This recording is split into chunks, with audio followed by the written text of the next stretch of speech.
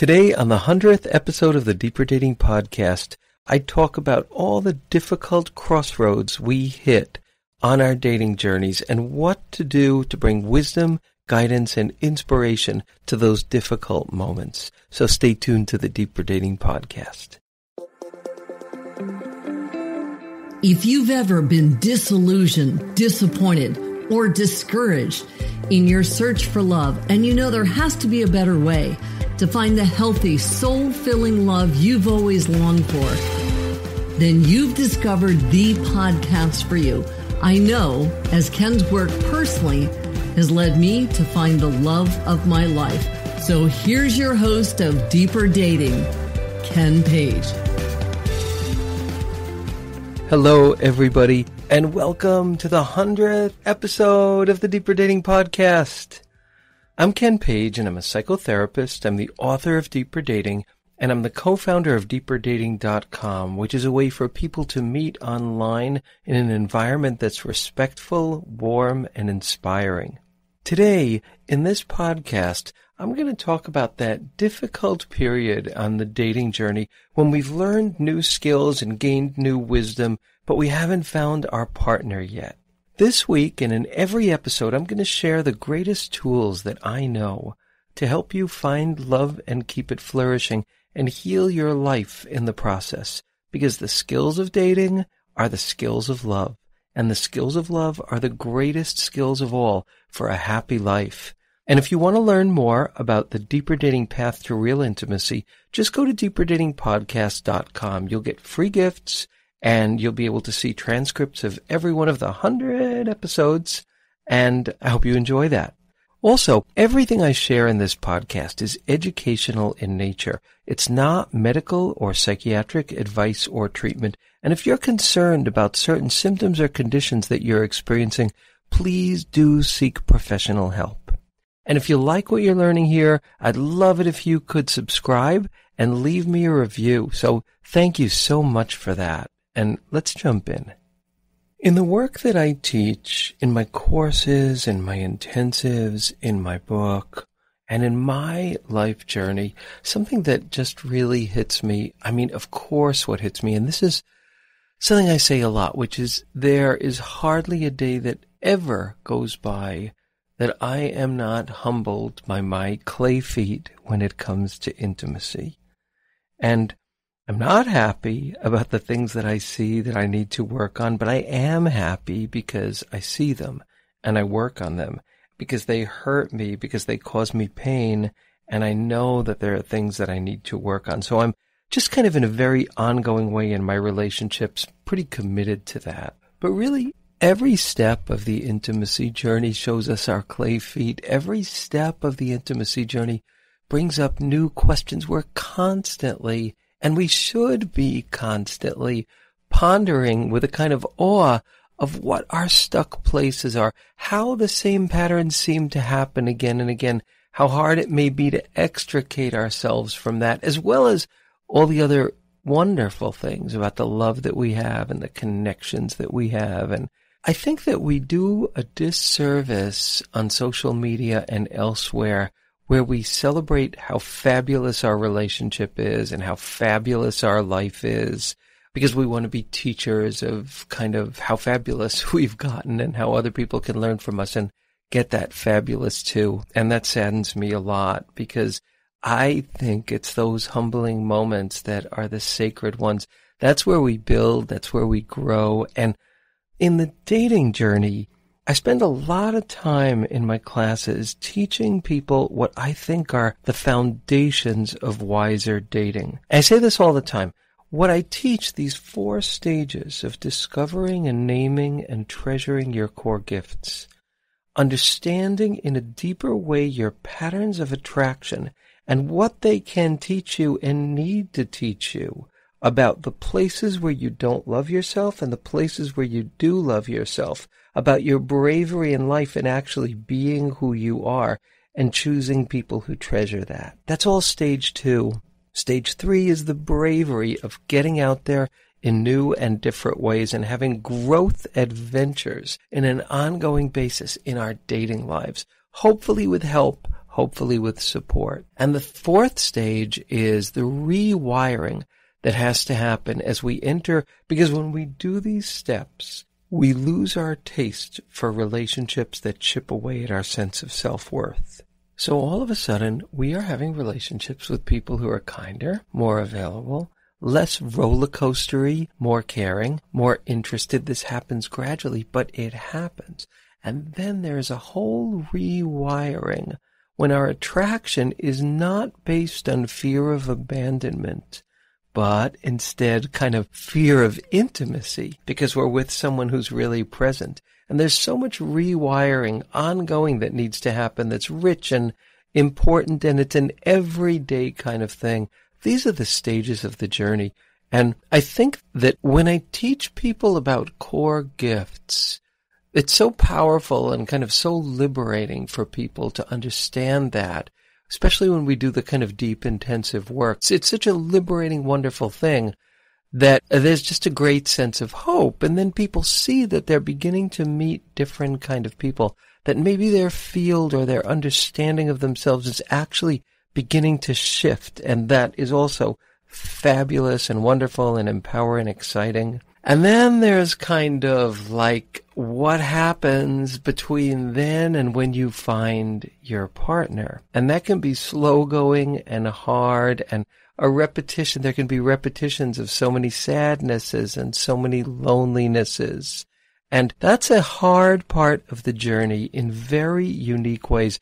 Every part of the journey is humbling. Every part it's both humbling and it's thrilling and good and wonderful when we heal and when we grow and we discover new mastery. But it's all humbling too. But this stage where we're looking and it hasn't happened yet and it could feel like that's going on for way too long can be a really, really difficult stage. I remember a dream I had once when I was fiercely, deeply into my intimacy journey, my desire to change the way that I date. And I hope that for all of you, you are reaching a point where you can say, I am deeply into my intimacy journey. I am learning. I am working on this. I'm really trying. I'm learning things. I'm changing. If you can say that, there's just such hope in that. But I remember, you know, very much being in that place of learning and growing and very much still being single. And I remember a dream I had. There was a couple that fell deeply, deeply in love. And I was watching this in my dream and they were kissing each other and they were like so, so deeply in love. And I somehow ended up having this beautiful, dewy rose in my hand, this beautiful rose with like dew on it. Was my rose. They were so in love, and I handed them the rose.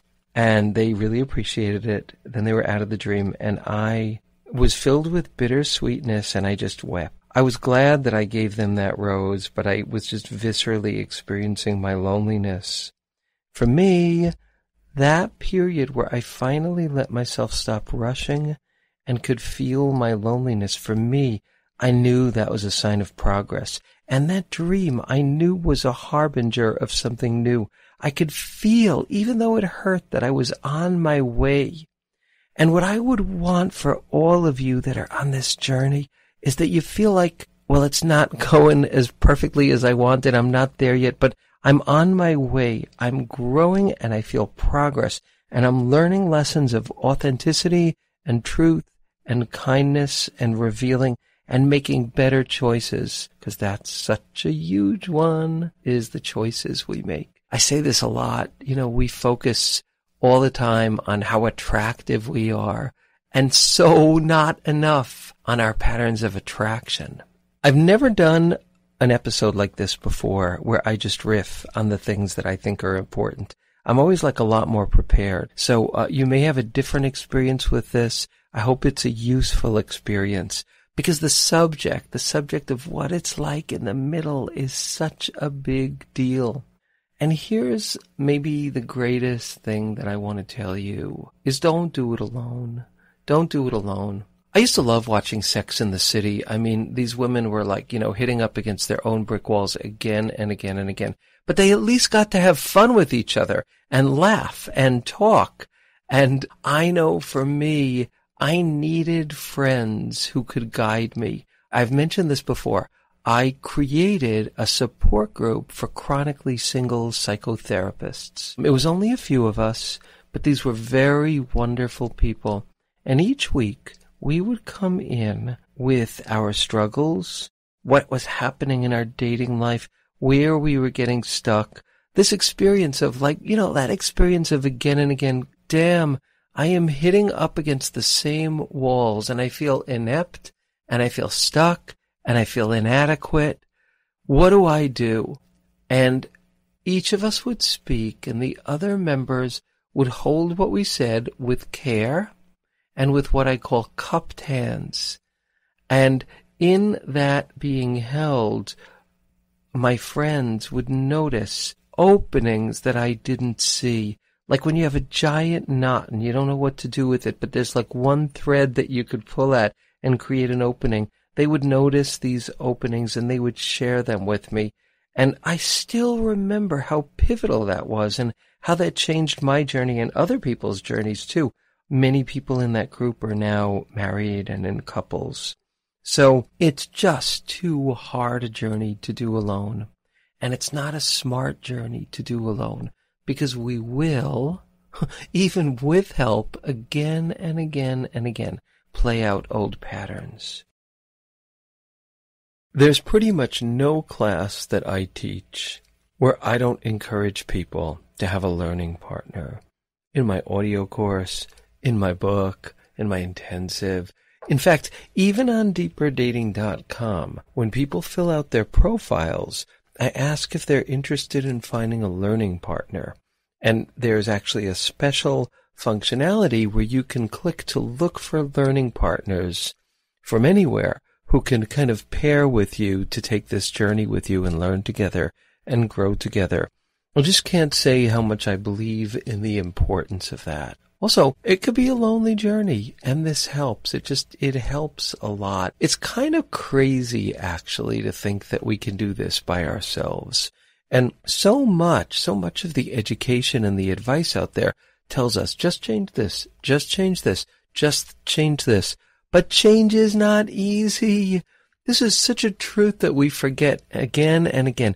Every day I wake up thinking I am going to get so much done and every day at the end of the day, I think, oh my God, I got so much less done than my most conservative picture of what I could get done could even show. I got done less than that. And I'm 64 years old. I do this every single day. Change is not an easy thing. Rewiring is just not an easy thing. And that's something else I just want to talk about. I want to talk about the beauty of bewildering crossroads. How many times have you been in a situation in your dating life or your life life where you're like, damn, I am here again at this stuck place where I've done the same thing again or where I feel not seen or not heard or disappointed or betrayed again it's happening again and I'm kind of helpless because I don't know how to stop this. Or a bewildering point where you just don't know how to behave or how to handle something. Or you're frustrated or you're resentful or you're angry. These are the intimacy crossroads that we experience and they're holy and they're powerful. Left to our own devices, whatever it is that our kind of inner kid told us is the best way to do this. Push through. Ignore other people's needs. Only focus on other people's needs and ignore our needs. So the tendency, the fierce, fierce, wired tendency is to do the same things. When we're connected with someone or when we're connected with our own inner wisdom, and I'm going to lead you in a beautiful, beautiful process for your crossroads in just a couple minutes. But whenever we're in that situation, it's a place to deconstruct as opposed to push through in our old ways. And I think that's an act of intimacy greatness. When at those crossroads where we're triggered, stuck, bewildered, pissed off, hurt, irritated, whatever things we are, confused, lonely, And we have an old pattern of how we're going to get through that that just somehow has not really worked that great. And we can stop and somehow deconstruct, like soften around that hardened pattern. Get brave around the ways that we avoid.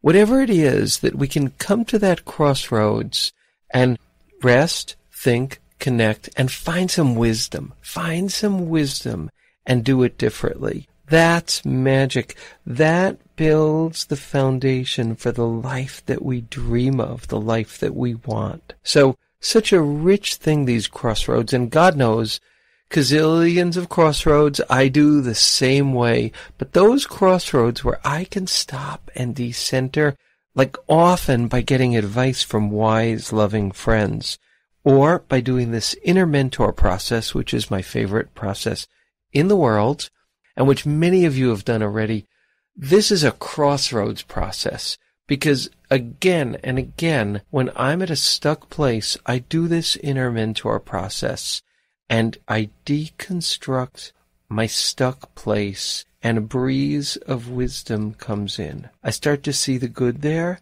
I see the possibility. I see the potential.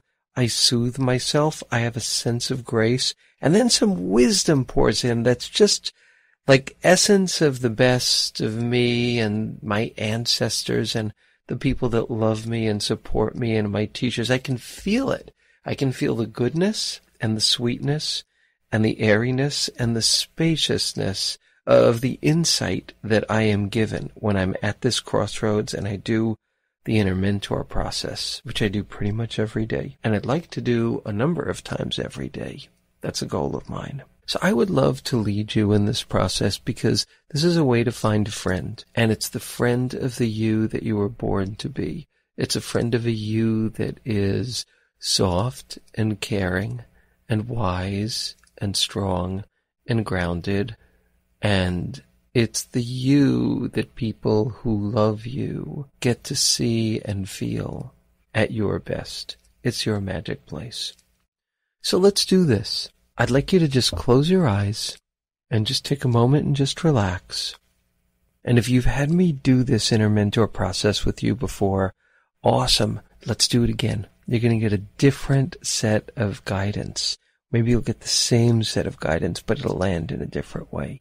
So just get comfortable. And I'd like you to remember a time that you felt really, really comfortable in your own skin. Healthy and solid and good and positive. Just remember a moment, a time when you felt that way. Now, don't look for perfection in the way that you visualize this, because my visualizations are like Swiss cheese, like moments of getting it, moment, big moments of not, big holes. That's fine. I love visualization because I accept that mine are like Swiss cheese. So give yourself that grace and that freedom and also, you don't have to have the perfect memory, just a general memory, and even just little moments of glimpse. So do that. And remember that very unique good feeling of feeling right in your own skin. Now I want you to remember a time that you felt a deep and beautiful love. I would just ask that it not be like a memory that is traumatic, that traumatizes you. In other words, like someone who betrayed you even if the person's not alive and you might have sadness, but it still is not traumatic and it holds goodness, that's a fine memory. So a time that you felt filled with like a big and great and deep love. It could have been a spiritual moment, could have been in nature, doesn't matter. Just remember what that was like. Gently and graciously hold that memory. I think of it like a breeze with a beautiful scent you don't smell it all the time, but there are moments that you do, and then you just enjoy that. That's how I'd like you to remember this moment, if that fits for you. And just kind of hold that to your heart, what that's like. And now I'd like you to remember a time that you were at a crossroads and you deconstructed an old way of behaving and handled it in a better way and felt really good as a result. A time you did something different you pivoted from an old, not helpful way. You did something wiser, and it worked, and it was good. And remember what that felt like. Just hold that memory.